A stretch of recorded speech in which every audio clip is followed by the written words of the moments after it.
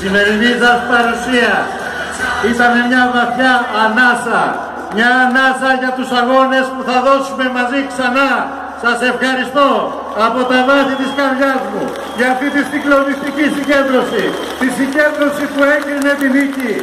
Έχουμε το δίκιο με το μέρος μας και θα νικήσουμε. Γεια σας!